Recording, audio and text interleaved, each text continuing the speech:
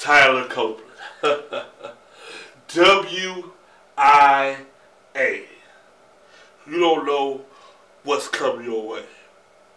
The dark side is coming your way. You do not need to see the dark side's face, but you do need to fear the dark side.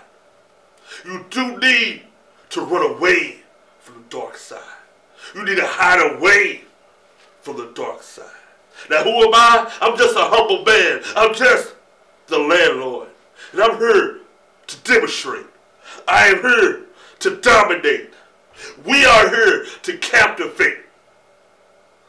Tyler Copeland and the little animal cracker rustlers that you got behind you.